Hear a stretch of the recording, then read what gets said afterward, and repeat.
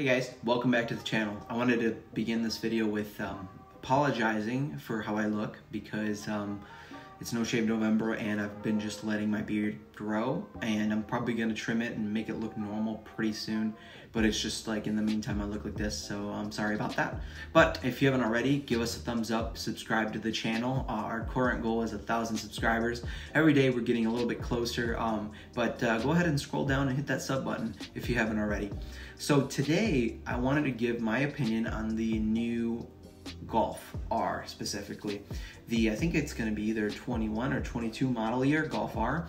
Um, I, I, put a link to the article that I looked at in the description, but um, I did want to see you know um, what you guys thought about the car, and I'll let you guys know what I thought about the car. So here are the stats. Okay, so um, we're looking at, um, and I have my notes too because I gotta make sure I know what I'm talking about.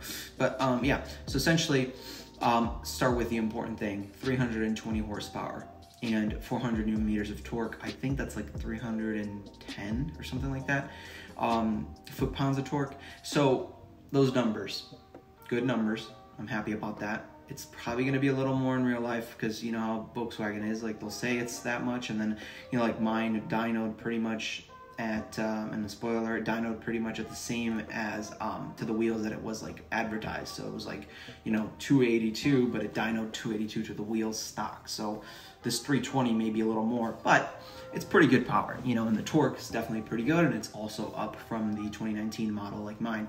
So um, nice there. You know, that's that's good stuff. Um, I'm I don't know the details behind what they did to get the extra power. If it, they did do anything to the engine to improve its durability or not, um, or performance, whatever they did, I have no clue.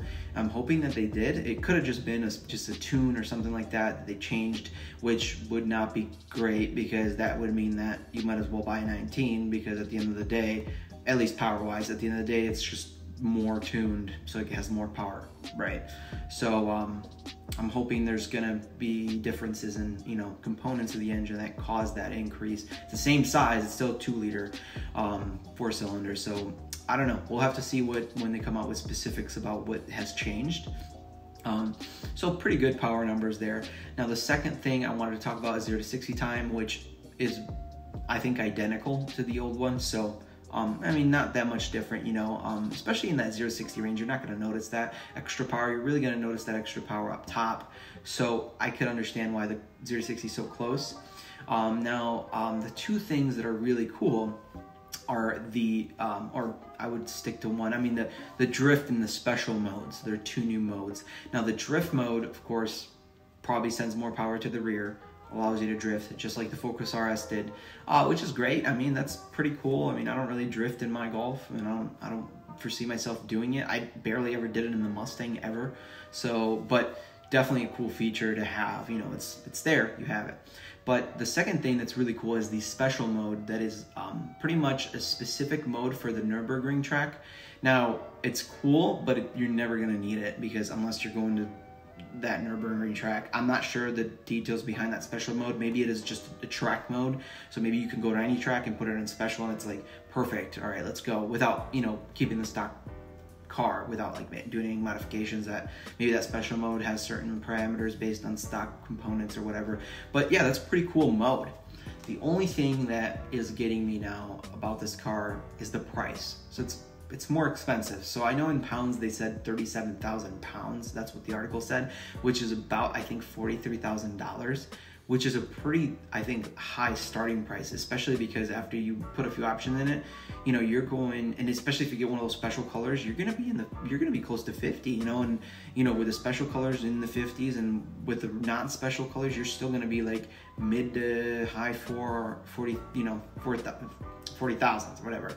So it's going to be an expensive car. I mean, it's not. It's definitely nothing that um, you know you can just throw around whatever. Don't care about it. It's cheap. I mean, for some people, yeah, but you know, personally, you know, I'd want to take care of that. I mean, I paid under forty for mine, so um, that's a little bit more manageable in my eyes. But um, they're definitely definitely this new car is sick and you know if you can afford it and if you like the hatch life you know it's definitely a sweet car to get but now talking about the price range that point you know, I'm looking at, you know, and I'm thinking, you know, in the future, if say that golf is out in 2022, right? Which is two years from now, or more like a year, uh, year and a couple months, whatever.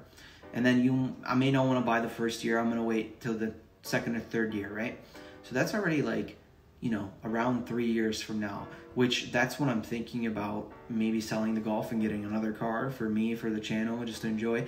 But at that price range, like maybe I'd rather, or someone would rather just upgrade to a bigger engine or something different, right? Because I mean, once you're getting in the mid to high 40s, sometimes 50s, I mean, you can look at, you can start looking at like, you know, Audi S4s, you know, there that way you have a six cylinder instead of a four, you have more potential for power. You also have, you know, um, more potential for like, uh, just like, you know, better durability. You're, you know, you're running a lot of power and the weight difference is not that different between an S4 and, you know, a Golf R. Like you're starting to like, you know, it's a little bit heavier, but now you have a six cylinder. You can actually manage more power easier. You can get more power easier. So, you know, before when it was like, oh, you're almost spending an extra 10 to 15,000 to get an S4, okay, well, then it's worth me sticking to the R, right? But now the price ranges are getting pretty close and I don't know what the new S4 is gonna cost, you know, at that time. Uh, there may be still a huge difference and if there is, maybe the R is still kind of like now, hey, you know, it's it's got the performance and, I, and it's affordable, it's it's cool and all that, still get the R. But, I mean, you could even get a used S4, you know, at that point. If you don't want the brand new one, you can get one that's like a year, you know, a year or two and uh, low mileage and pretty much even maybe less, cost less than that you know new Golf R, but you have a completely different, I guess, a step up in my opinion as a car. Um, so that's just kind of my two cents on that. I mean, I definitely think that the rear end of the new R looks pretty cool. If you see in the article, um, looks pretty cool. Here it is actually. Um, and that's pretty cool. The front end, uh, here it is, not a fan right now of the headlights. I mean, it could grow on me like a lot of, you know, like the, the you know, 18 Mustang grew on me a lot. Um, still prefer the 16, you know, or 17 and under headlights, 15 to 17, but, you know, like things grow on you. But right now, I think that the 19 Golf R is, I think, the best looking Golf right now. Um, at the Mark 7.5, I think it's hands down one of the best looking models. Um, but the new one, you know, it's gonna grow. People are gonna modify it. Of course, it's gonna look cool. It's still got that basic golf look, but you know, um, I think at that price point, how things stand right now, I think I would just look into upgrading to Audi or something different. Um, mean, especially when you're when you're getting into the 50s. I mean, there's so many things out there you can get, um, especially used. You know, if you don't mind to, you know, get a used car with low mileage and maybe some service history, something like that. I mean, definitely it's going to be, you know, a a better buy than a brand new R, if, especially if you're, you know, if you're more focused on what you're getting out of it, right? I mean, the technology in the car, of course, the R's interior is beautiful, the new R's is beautiful, but I mean, what are the basic features that, you know, at that time, say in 2022 or 2023 or whatever, for whatever you want to call it, at that time, you know, if I get a one or two year old Audi, how many less features is it going to have than a brand new Golf R at the time, really, you know? So is the money worth, you know, um, the upgrade or not? So um, that's kind of my two cents on that. So uh, let me know what you guys think about you know the new Golf R because you know I'm, I'm op open to opinions. I've been a Ford guy for a long time. Um, you know American cars or Italian, but you know after getting the R, I'm still learning every day more and more about the German automakers and you know their cars and the faults and the good things about them. So if you guys have any feedback for me, just leave it in the comments. Um, you know, and if you haven't already, while you're down there, hit that thumbs up, hit that subscribe button, and um, I'll catch you guys in another one. Peace.